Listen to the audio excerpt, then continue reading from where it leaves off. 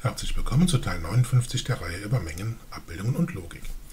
Wir schauen uns heute Beispiele an zur, zum Two-Set-Problem in der Aussagenlogik. Also dem äh, Two-Set-Problem, dem Erfüllbarkeitsproblem von Formeln in konjunktiver Normalform mit maximal oder eigentlich genau zwei Literalen je Klausel.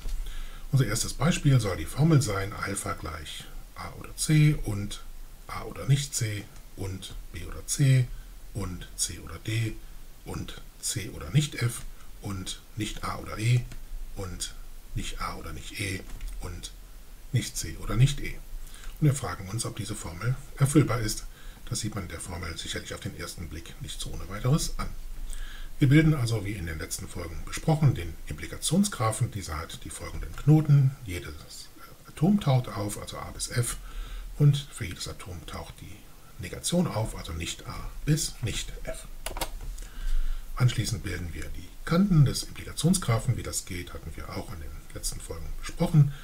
Und wir haben dann Kanten a nach e, a nach nicht e und so weiter. Die Menge der Kanten ist jetzt hier aufgeführt.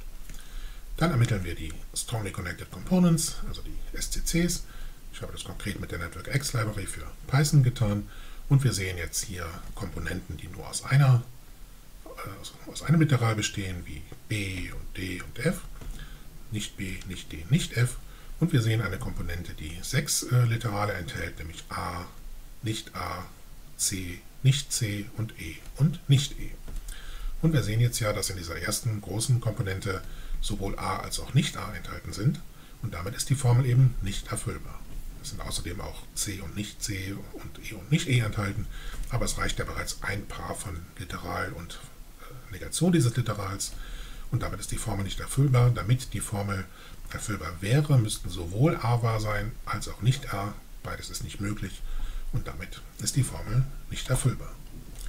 Der Implikationsgraph, der ist hier nochmal dargestellt. Hier unten nochmal die Strongly Connected Components. Und wir sehen hier in Rot dargestellt die ähm, Kanten, die innerhalb dieser SCC verlaufen. Also zum Beispiel hier von A nach E gibt es eine Kante, von C nach A eine Kante und so weiter. Und das ist eben eine strongly connected component. Innerhalb von diesen sechs Knoten können wir von jedem zu jedem anderen kommen, wie man sich jetzt, wenn man möchte, äh, an diesem Bild hier klar machen kann.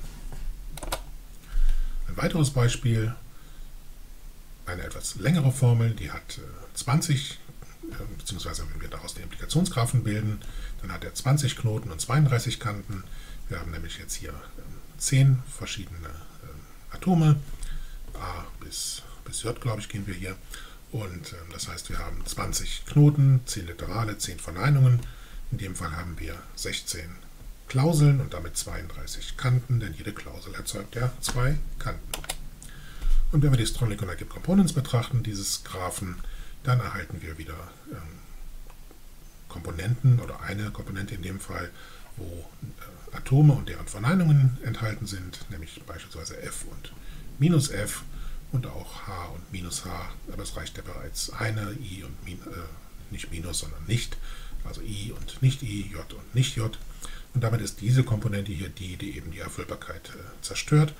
Es taucht Literale und ihre Verneinungen auf und damit ist diese Formel eben nicht erfüllbar. Hier auch nochmal grafisch dargestellt, der Implikationsgraph. Man sieht auch bereits, dass bei einer gar nicht so großen Anzahl von Knoten bereits die grafische Darstellung sehr äh, unübersichtlich wird. Und wir sehen das jetzt wieder in Rot dargestellt. Das sind die Kanten, die innerhalb dieser, äh, dieser Komponente hier verlaufen. Ähm, das heißt, äh, innerhalb der Knoten, die zu dieser Komponente gehören, kommt man von jedem Knoten zu jedem anderen Knoten entlang eines Pfades, ähm, der immer nur in Pfeilrichtung verläuft. Und damit ist das eben die problematische Komponente. Die anderen Komponenten, die sind nicht problematisch, die sind alle nur, haben die Länge 1 und sind damit eben kein Problem. Das waren also zwei Beispiele für Two-Set-Probleme, die nicht erfüllbar sind. Und dann schauen wir uns in der nächsten Folge ein weiteres Beispiel an für ein Two-Set-Problem, das aber in dem Fall dann erfüllbar ist. Vielen Dank.